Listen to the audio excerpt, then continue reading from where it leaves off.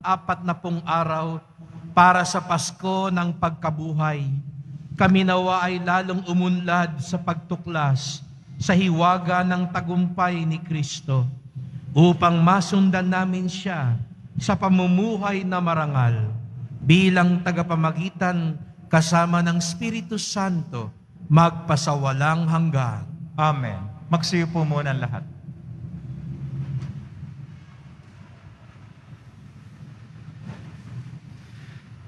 Pagbasa mula sa aklat ng Henesis. Nilikha ng Diyos ang tao mula sa alabok, hiningahan sa ilong at nagkaroon ng buhay. Naglagay ang Panginoon ng isang halamanan sa Eden, sa dakong silangan, at doon dinala ang taong kanyang nilalang. Pinasibol niya ang roon ang lahat ng uri ng kahoy na nakalulugod sa paningin at masasarap ang bunga. Sa gitna ng halamanan, naroroon ang punong nagbibigay buhay at ang punong nagbibigay ng kaalaman tungkol sa mabuti at masama. Ang ahas ang pinakatuso sa lahat ng hayop na nilikha ng Panginoon. Minsay tinanong nito ang babae, Totoo bang sinabi ng Diyos na huwag kang kakain ng anumang bungang kahoy sa halamanan? Tumugon ang babae, Hindi naman, ipinakakain sa amin ang anumang bunga sa halamanan, huwag lamang ang bunga ng puno na nasa gitna niyon. Pag kami raw ay kumain ng bunga nito, o humipo man lang sa punong iyon, mamamatay kami. Hindi totoo yan hindi kayo mamamatay, wika ng ahas. Gayon ang sabi ng Diyos, sapagkat alam niyang kung kakain kayo ng bunga niyon, magkakaroon kayo ng pagkaunawa. Kayo'y magiging parang Diyos. Malalaman niyo ang mabuti at masama. Napakaganda sa paningin ng babae ang punong kahoy at sa palagay niya'y masarap ang bunga nito nabuo sa isipan niya, nababuti ang maging marunong, kaya't pumitas siya ng bunga at kumain. Kumuha rin siya para sa kanyang asawa at kumain din ito. Nagkaroon nga sila ng pagkaunawa matapos kumain. Noon nila na lamang sila'y hubad, kaya't kumuha sila ng mga dahon ng igos, pinagtagni-tagni at ginawang panakip sa katawan. Ang salita ng Diyos. Salamat sa Diyos. Poon iyong kaawaan, kami sa iyo'y nagsisuway. Poon iyong kaawaan, kami sa iyo'y nagsisuway. Ako'y kawaan, o mahal kong Diyos, sangayon sa iyong kagandahang loob. Mga kasalanan ko'y iyong pawiin, ayon din sa iyong pag-ibig sa akin. Linisin mo sana ang aking karumihan at ipatawad mo yaring kasalanan. Poon iyong kawaan, kaming sa iyo'y nagsisuway. Ang pagsalansang ko ay kinikilala, laging nasa isip ko at alaala. Sa iyo lang ako nagkasalang tunay at ang nagawa ko'y di mo nagustuhan. Poon iyong kawaan, kaming sa iyo'y nagsisuway. Isang pusong tapat sa aki likhain. Bigyan mo, O Diyos, ng bagong damdamin. Sa iyong harapay, huwag akong alisin. Ang Espiritu mo ang paghahariin. Poon iyong kawaan, kaming sa iyo'y nagsisuway. Ang galak na dulot ng iyong pagliligtas, ibalik at ako ay gawin mong tapat. Turuan mo akong makapagsalita at pupurihin ka sa gitna ng madla. Poon iyong kawaan, kaming sa iyo'y nagsisuway.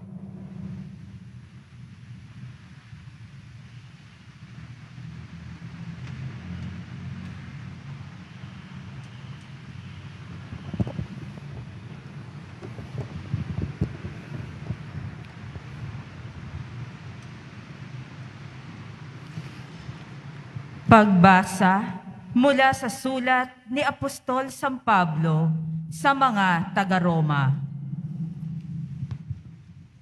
Mga kapatid, ang kasalanay pumasok sa sanlibutan sa pamamagitan ng isang tao at ang kamatayan sa pamamagitan ng kasalanan niya. Dahil dito, lumaganap ang kamatayan sa lahat ng tao sapagkat ang lahat ay nagkasala. Nasa sanlibutan na ang kasalanan bago pa ibinigay ang kautusan. Ngunit walang pinananagot sa kasalanan kung walang kautusan. Gayunman, Naghari ang kamatayan mula kay Adan hanggang kay Moises, kahit sa mga tao na ang pagkakasalay di tulad ng pagsuway ni Adan. Si Adan ang anino ng isang darating. Ngunit magkaiba ang dalawang ito, sapagkat ang kagandahang loob ng Diyos ay higit na dihamak kaysa pagsuway ni Adan.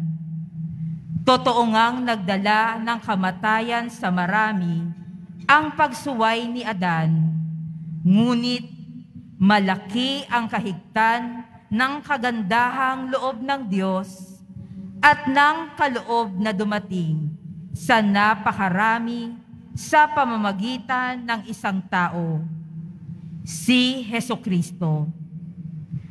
Ang kaloob ay higit na dihamak kaysa binunga ng pagsuway ni Adan. Nagdala ng hatol na kaparusahan ang kanyang pagsuway.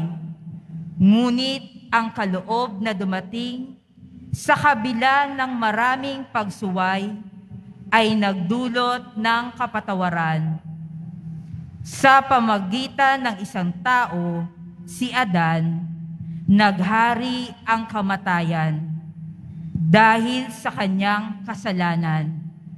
Ngunit sa pamamagitan din ng isang tao, si Heso Kristo, higit ang kinamtan ng mga kinahabagan ng sagana at pinawalang sala sila'y magahari sa buhay.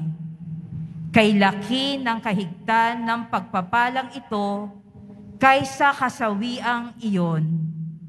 Kaya't kung paanong nagbunga ng kaparusahan sa lahat ang kasalanan ng isang tao, ang pagkamatuwid naman ng isang tao ay nagdulot ng kapatawaran at buhay sa lahat sapagkat sa pagsuway ng isang tao ay marami ang naging makasalanan. Gayon din naman, marami ang pawawalang sala sa pagsunod ng isang tao. Ang salita ng Diyos. Salamat sa Diyos. Magsitayo na po lahat.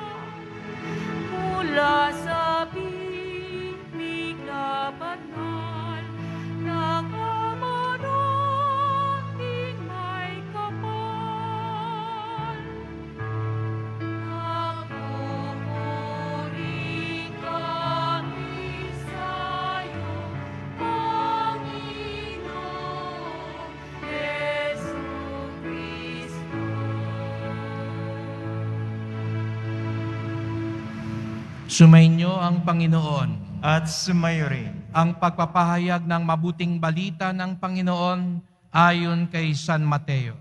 Papuri sa iyo, Panginoon. Noong panahong iyon, si Jesus ay dinala ng Espiritu sa ilang upang tuksuhin ng Diablo. Doon, apat na pong araw at apat na pong gabing nag-aayuno si Jesus at siya'y nagutom. Dumating ang manunukso at sinabi sa kanya, Kung ikaw ang anak ng Diyos, gawin mong tinapay ang batong ito.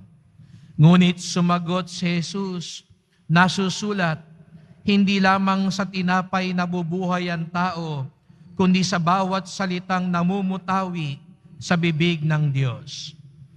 Pagkatapos ito'y dinala siya ng Diablo sa taluktok ng templo sa banal na lungsod. Kung ikaw ang anak ng Diyos, sabi sa kanya, magpatihulog ka sapagkat nasusulat, ipagbibili niya ang kanyang mga anghel na ingatan ka, aalalayan kanila upang hindi ka matisod sa bato. Sumagot si Jesus, nasusulat din naman, huwag mong subukan ang Panginoon mong Diyos. Pagkatapos, dinala din siya ng Diablo sa isang napakataas na bundok. Mula nooy, ipitinaw sa kanya ang lahat ng kaharian ng sanlibutan at ang kayamanan ng mga ito. At sinabi ng Diablo, Ibibigay ko sa iyo ang lahat ng ito kung magpapatira pa ka at sasamba sa akin. Sumagot si Jesus, Lumayo ka, Satanas, sapagkat nasusulat, ang iyong Diyos at Panginoon ang sasambahin mo. Siya lamang ang iyong paglilingkuran. At iniwan siya ng Diablo. Dumating ang mga anghel at naglingkod sa Kanya.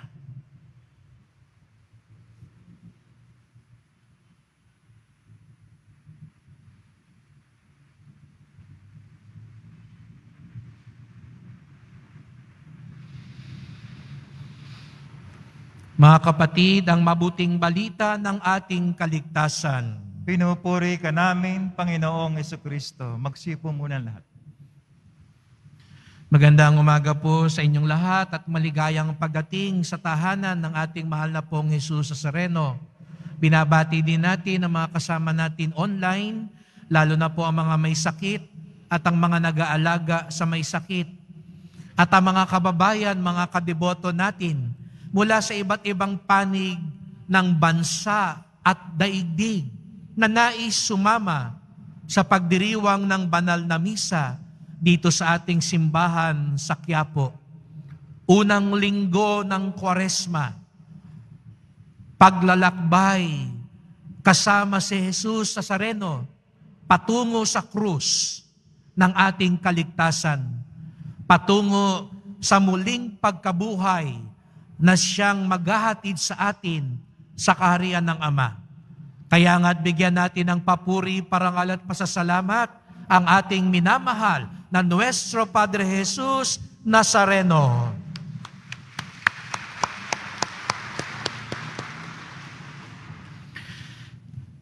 Unang linggo ng Kwaresma.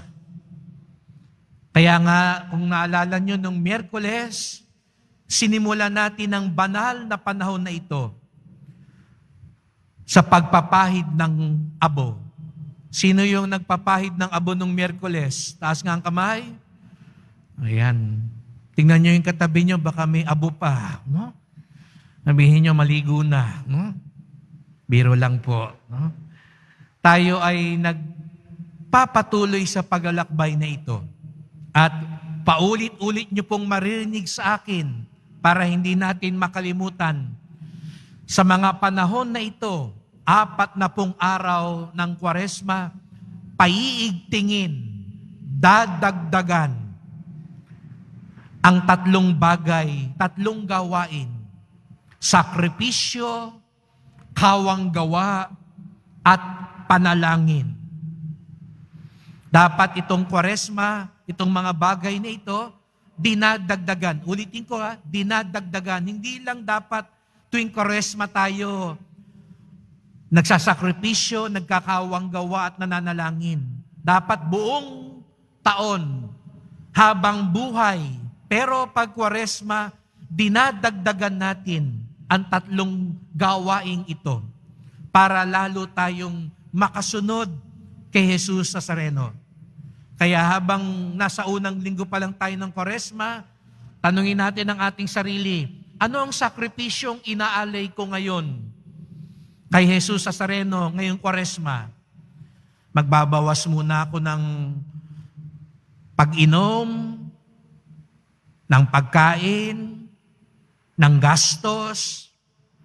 Anong sakripisyo ang aking ginagawa, dinadagdagan ngayong kwaresma? Anong kawang gawa? Kung dati-rati, Father, nagbibigay naman talaga ako lagi sa pulubi. Tumutulong naman ako, dagdagan mo ngayon, kwaresma. At hindi naman kailangan pera.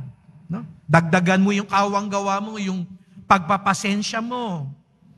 Yung panahon mo, sa na mag-computer ka lang, manood ka, dumalaw ka sa may sakit, sumama ka sa mga napupunta sa mga bilangguan para tumulong, maglingkod sa simbahan. At pangatlo, panalangin. Father, nagdadasal naman ako araw-araw. Dagdagan mo ngayon. Kahit man lang sampung minuto pa. O dadaan ka sa simbahan bago ka umuwi. Dagdagan natin ang tatlong bagay na ito ngayong kwaresma. Hindi pwedeng katulad lang ng dati. Bakit natin kailangang gawin ito? Ang tawag nga sa mga gawain ito ay spiritual exercises. Ehersisyong pangkaluluwa. Bakit? Hindi ba yung meron ho dito siguro sa inyo na nag-physical exercise? Siguro iba, nagpupunta pa sa gym. O meron kayong silid, meron kayong lugar sa bahay ninyo kung saan ka nag-exercise. Tumatakbo ka siguro, nagbubuhat ka. No? Bakit ginagawa yon? Yung physical exercise? Para lumakas ang katawan. Kaya ka nagbubuhat. Para pag dumating ang panahon, kahit isang sakong bigas, kaya mong buhatin.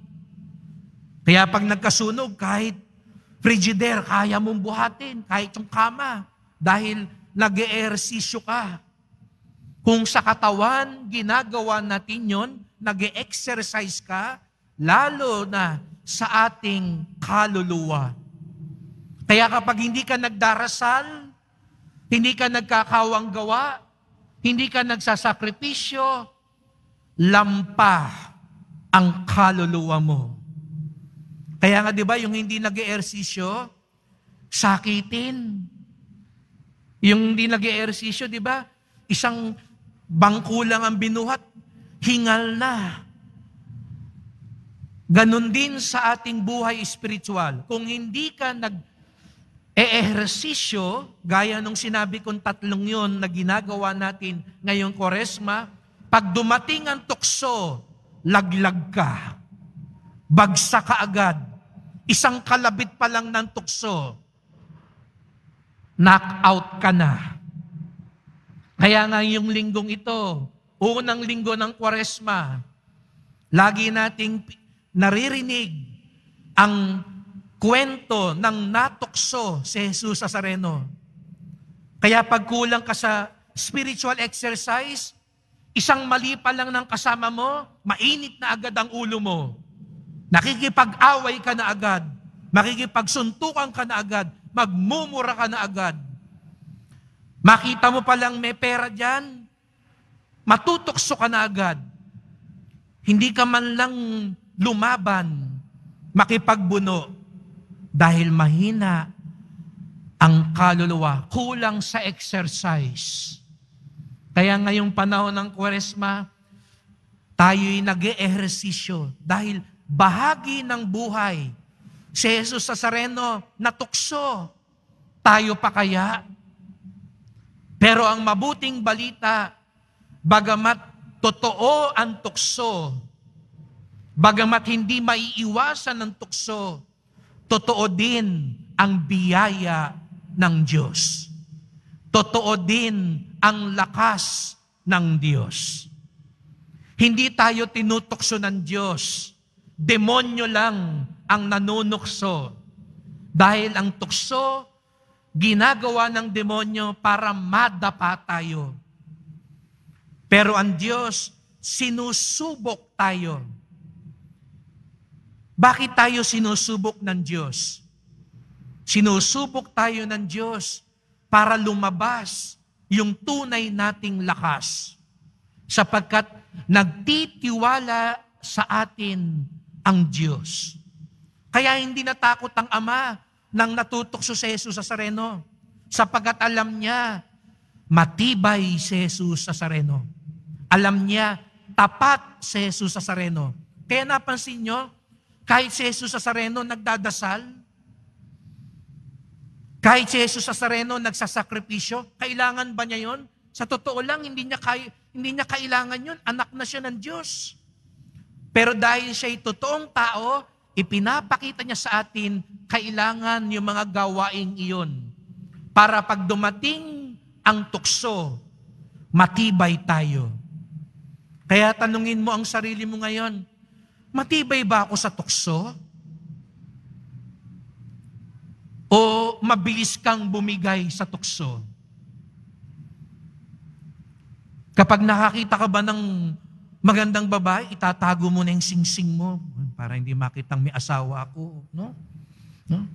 Pag nakakita ka ba, no, ng bote ng alak, para ka bang no, uhaw na uhaw na agad, hindi ka na makapagtimpi. Kapag may nakita ka bang may nagsusugal sa sa kanto, para ka bang hinahatak pumunta doon at makipusta. Malakas ka ba sa tukso? Mabilis ba uminit ang ulo mo ngayon?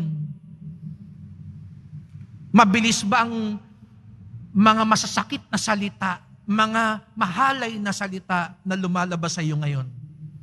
Baka kailangan mo ng ehersisyo. Kaya nakita nyo, nagbubuhat, pasan ni Jesus sa sareno ang krus. Hindi para ibagsak siya. Hindi para idapa siya. Kundi para lumakas siya. Huwag kayong matakot sa krus.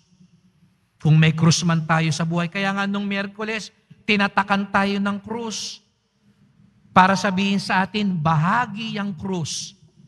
At yung krus na yan, ang magpapalapit sa atin sa Diyos.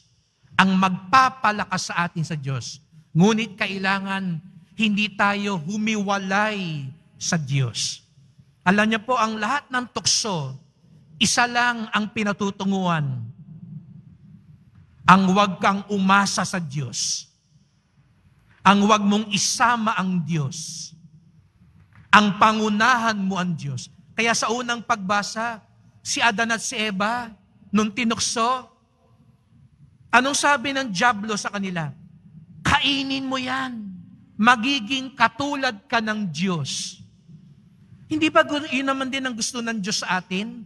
Matulad tayo sa Kanya? Anong diferensya? Na hindi napansin ni Adan at ni Eva, matutulad ka sa Diyos, pero hindi mo kasama ang Diyos. Kaya yung sa Ebanghelyo ngayon, ganun din ang tukso ng, ni Satanas. Napansin niyo yung tukso, kung ikaw ang anak ng Diyos, gawin mong tinapay ang batong ito. Kung ikaw ang anak ng Diyos, magpatihulog ka. Pansinin niyo yung demonyo. Binubuyo ka kung ikaw ang anak ng Diyos. Hindi ba totoo naman si Jesus sa sarenong anak ng Diyos? Anong diferensya doon? Pinangungunahan ng Diablo si Jesus Nazareno. Kaya di ba nung bata tayo, may tukso, o kung matapang ka nga, sige nga, hawakan mo tenga niya. Kung matapang ka ng tao, sige nga, umbagan mo na siya. Pinangungunahan ang Diyos. Kaya dumadating ang panahon, sumasalungat tayo sa Diyos. Iyon ang tukso. tinutulak tayong palayo sa Diyos. Kaya mga kapatid sa misang ito, pagdasal po natin ang bawat isa. Mag-ingat po tayo. Kahit yung mga kakala natin mabuting ginagawa, kaya nakita niyo ang demonyo, kabisado ang Biblia. Ang demonyo si Satanas, ginagamit pa ang banal na kasulatan. Kaya kahit mabuting gawa, pwedeng gamitin para ilayo tayo sa Diyos. Kaya lalo tayong paigtingin ngayong kwaresma ang mga gawaing ito. Sakripisyo, kawang gawa, at panalangin. Para pag dumating ang tukso, pag dumating ang pagsubok, pag dumating ang krus, katulad ni Jesus sa Sareno, tayo'y maging malakas. Kaya sa pagkapatuloy ng misang ito, magdasal po tayo. Mahal na po ang Jesus sa Sareno, sa pasimula ng kwaresmang ito, maglalakbay kami kasama mo. Hindi ka namin iiwan. Hindi ka namin pangungunahan. Hindi ka namin sasalungatin. Sapagkat alam namin, mahal na pong Jesus Nazareno, ang iyong lakas, ang iyong biyaya, ang tutulong sa amin sa panahon ng tukso. Mahal na pong Jesus Nazareno, samahan mo kaming lagi sa krus ng aming kaligtasan, patungo sa tagumpay ng muling pagkabuhay.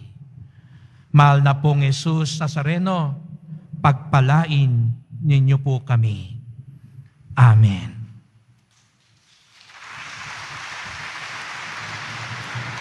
Magsitoy na po ang lahat.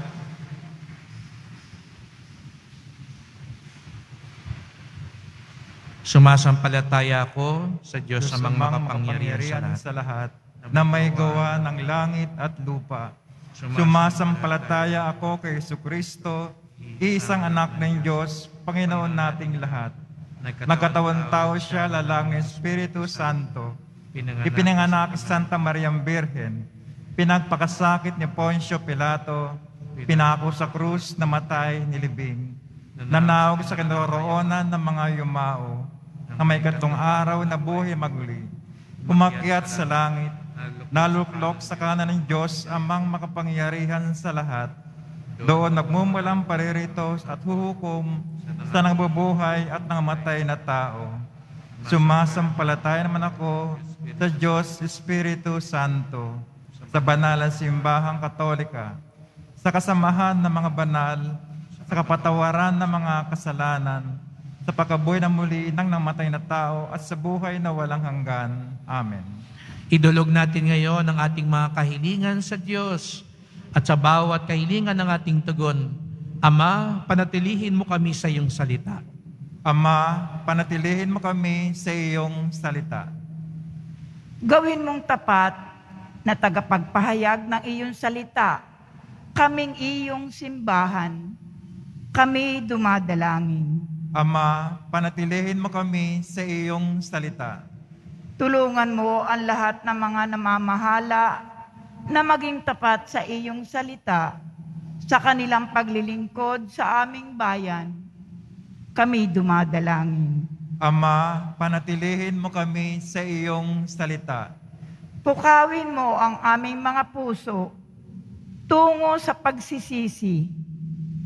Tulungan mo kaming humingi ng tawad sa aming mga nasaktan at magpatawad sa mga nakasakit sa amin.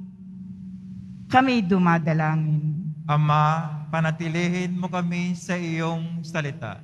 Itinataas din namin sa iyo ang lahat ng mga social worker at silang lahat na nagtataguyod ng dignidad at karapatang pantao. Kami dumadalangin. Ama, panatilihin mo kami sa iyong salita. Salubungin mo ang mga yumao naming mahal sa iyong walang hanggang pag-ibig. Aliwin mo kaming nagdadalamhati sa kanilang paglisan. Kami dumadalangin. Ama, panatilihin mo kami sa iyong salita. Itaas din natin ang mga kapatid nating nangangailangan ng panalangin. Ang mga pangangailangan ng ating pamayanan at ang ating personal na mga kahilingan.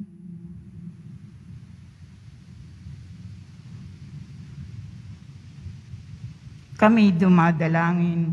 Ama, panatilihin mo kami sa iyong salita. Ama naming matapat, panatiliin mo kami sa iyong salita upang tulad niya, kami rin maging tinapay ng buhay sa aming sama-samang paglalakbay pabalik sa iyo. Hiling namin ito sa pamamagitan ni Yesu Kristong aming Panginoon. Amen. Magsiupo muna ang lahat.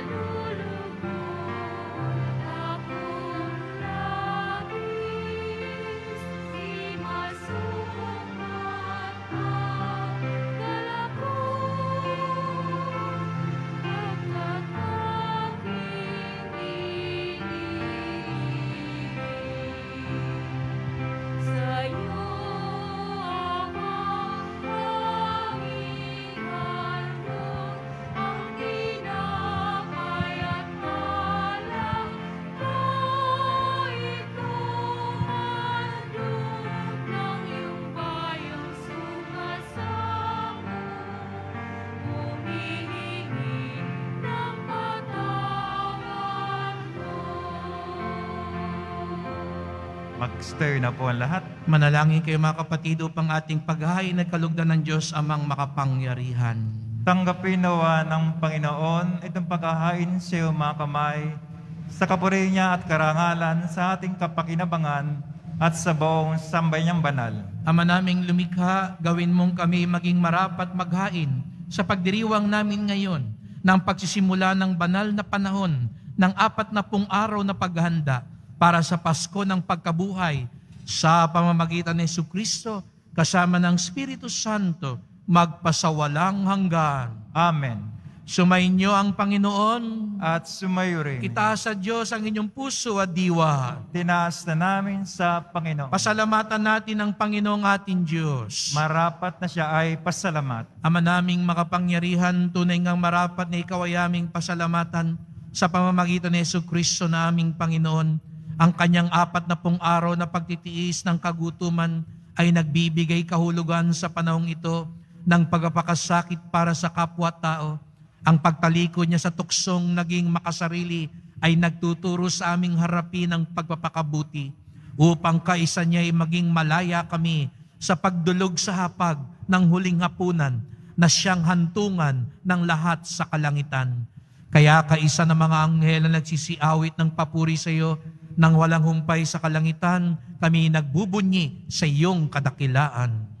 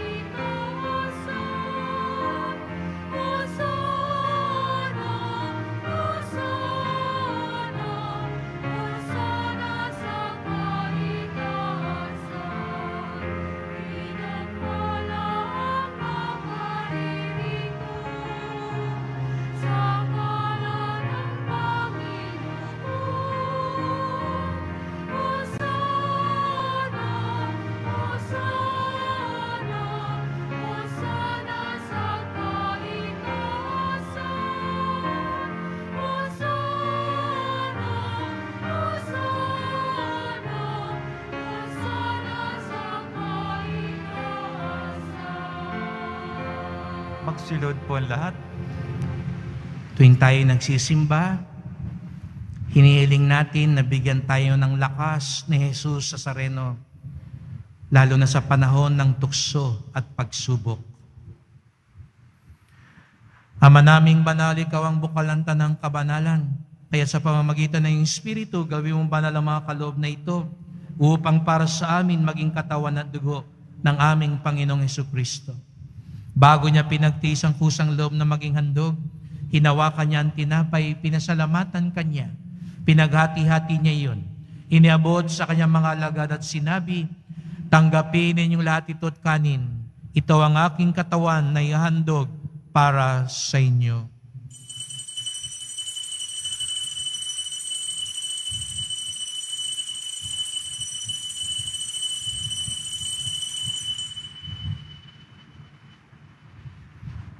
Gayun din naman nang matapos ang apunan, hinawakan niya ang kalis, muli kanyang pinasalamatan. Iniabot niya ang kalis sa kanyang mga lagad at sinabi, Tanggapin ninyong lahat ito at inumin.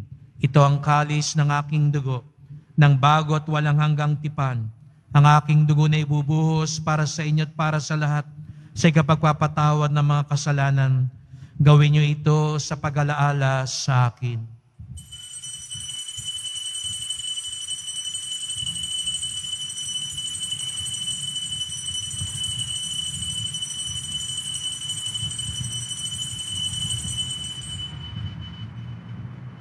Magsitayo na po ang lahat. Ipagbunyi natin ang misteryo ng pananampalataya. Kristo'y namatay, si Kristo'y nabuhay, si Kristo'y babalik sa wakas ng panahon. Ama, ginagawa namin ngayon ang pag-alaala sa pagkamatay at muling pagkabuhay na iyong anak. Kaya tinalay namin sa iyo ang tinapay nagbibigay buhay at ang kalis na nagkakaloob ng kaligtasan. Kami nagpapasalamat dahil kami yung minarapat na tumayo sa harap mo para maglingkod sa iyo. Isinasamo namin kaming magsasalo-salo sa katawan at dugo ni Kristo'y mabuklod sa pagkakaisa sa pamamagitan ng Espiritu Santo. Ama, lingapin mo ang iyong simbahang laganap sa buong daigdig. Puspusin mo kami sa pag-ibig kaysa ni Francisco naming Papa, ni Jose naming Obispo, at ng Tanang Kaparian. Alalahanin mo rin ang mga kapatid naming nahimlay, lalong-lalo na po si Monsignor Josefino Ramirez, na dating kura ng Quiapo, na may pag-asang sila'y muling mabubuhay. Gayon din ang lahat ng mga pumanaw. Kawan mo sila at patuloyin sa iyong kaliwanagan.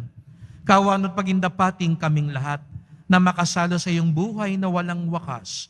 Kaysa na mahal na biring Maria na ina ng Diyos, ng kabiyak niyang pusong si San Jose, ng mga apostol, ni San Juan Bautista at lahat ng mga banal na namuhay dito sa daigdig ng kalugod-lugod sa iyo. May pagdiwang nawa namin ng pagpupuri sa ikararangal mo sa pamamagitan na iyong anak na aming Panginoong Heso Kristo. Sa pamamagitan ni Kristo, kasama niya at sa Kanya, ang lahat ng parangal at papuri ay sa iyo, Diyos amang makapangyarihan, kasama ng Espiritu Santo, magpasa walang hanggan.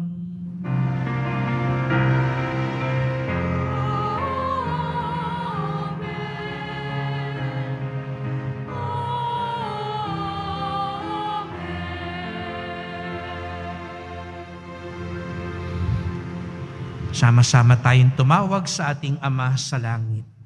Ama namin, sumasalangit ka.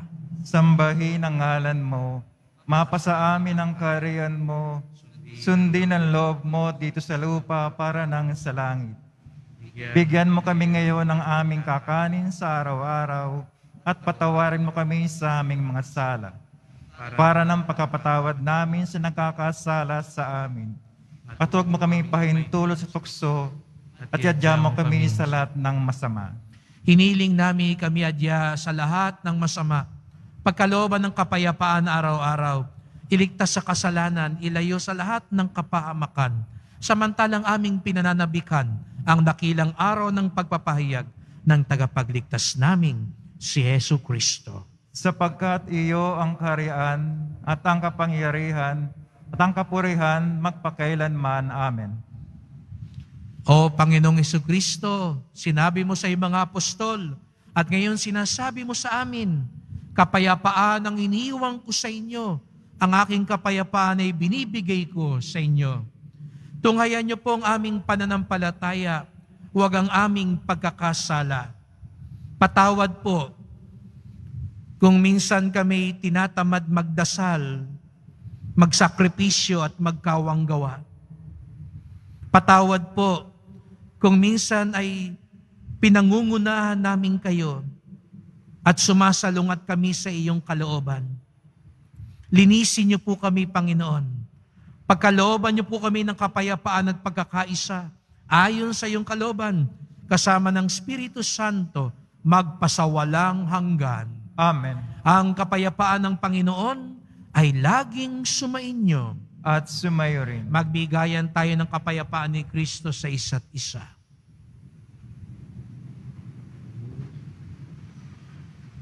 Kordero ng Diyos na nagalis na mga kasalanan ng sanlibutan, maawa ka sa amin. Kordero ng Diyos na nagalis na mga kasalanan ng sanlibutan, maawa ka sa amin. Kordero ng Diyos na nagalis na mga kasalanan ng sanlibutan, pagkalob mo sa amin ang kapayapaan. Magsilod po ang lahat.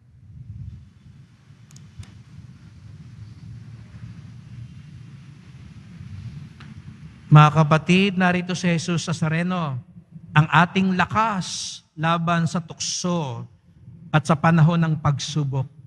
Ang kordero ng Diyos nag-aalis ng mga kasalanan sa sanlibutan, mapapalad ang inaanyayahan sa kanyang piging. Panginoon, hindi ako karapat-dapat na magpatuloy sa iyo, ngunit sa isang salita mo lamang ay gagaling na ako.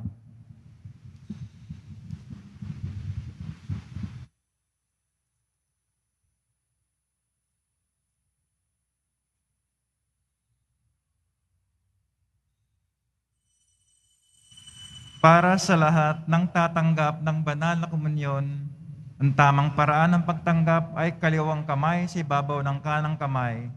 At sasagot po tayo ng amen pagkasabi ng pare o ng lay minister ng katawan ni Kristo.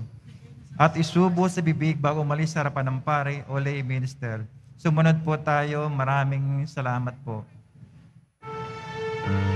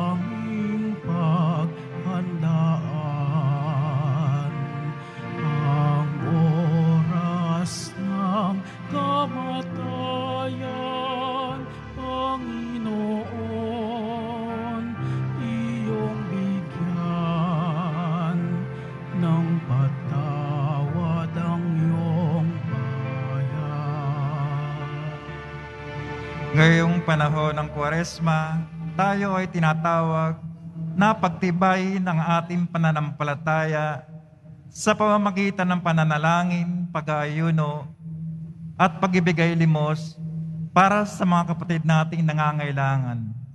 Kaugnay po nito, magkakaroon tayo ng second collection para sa pondo ng Alay Kapwa. Ang malilikom sa koleksyon ay gagamitin upang tumugon sa mga pangangailangan ng ating mga kapatid na biktima ng COVID-19 pandemic, mga batang kulang sa pagkain, biktima ng bagyong paeng, at iba pang kalamidad noong 2022. Tinatawagan po tayo ng ating mahal na Arsobispo, Jose Cardinal at Vincula, na maging bukas palad sa ating kapwa. Maraming salamat po. Walang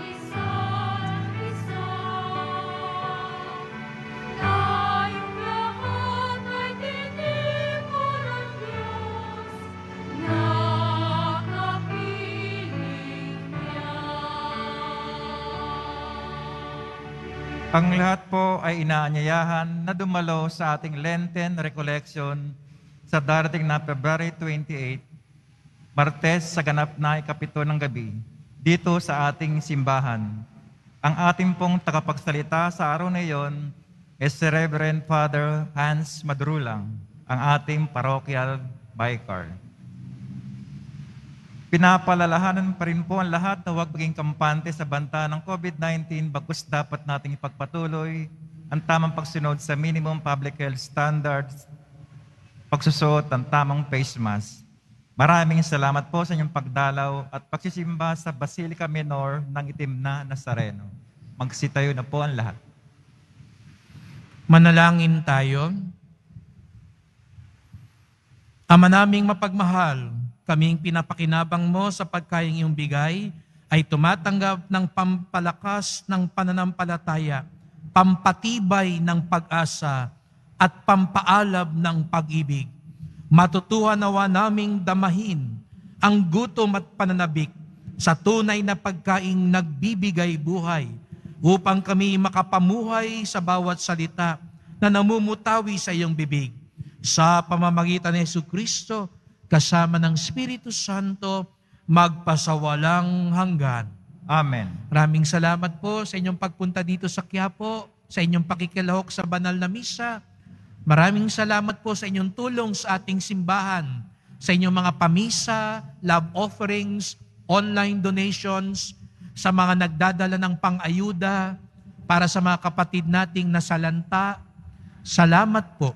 Ang ating debosyon sa poong Nazareno ang nagpapatibay ng ating pananampalataya para lalo tayong tumulong sa ating kapwa, para lalo tayong maging matuwid sa pamumuhay. Kaya ngayong kwaresma, ipagdasal natin na ito'y maging mabiyaya, na tayo'y maging malakas sa panahon ng tukso at pagsubok upang lalo tayong mapalapit kay Jesus Nazareno na siyang ating tagumpay at kaligtasan. Sumainyo ang Panginoon at sumayo rin. Mahal na pong Jesus Nazareno, ipinayag mo sa pamamagitan ng krus ang walang maliw na pag-ibig ng Diyos sa sangkatauhan. Pakinggan mo ang kahilingan ng iyong angka na nagsusumamo sa iyo. Makamtanawa nila ang iyong katugunan na tanggapin ang kasagutan ng may utang na loob na tinatanaw. Basbasan din po ninyo mga daladala ng mga imahin at dasalan sa pamamagitan ng bendisyon na ito. Naway maalala nila mga pangako nila sa binyag na ikaw ang kanilang iibigin at paglilingkuran bilang Panginoon magpasawalang hanggan Amen. at pagpalain kayong lahat ng makapangyarihang Diyos, Ama at Anak at Espiritu Santo. Amen. Humayo kayong taglay ang lakas at tagumpay ng poong Jesus Nazareno. Salamat sa Diyos.